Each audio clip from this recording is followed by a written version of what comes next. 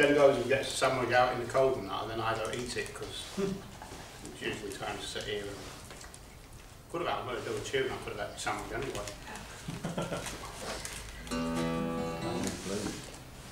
This is a tune I was really pleased with until Andy come up here playing his new tune. But, and it's not that sort of tune. It always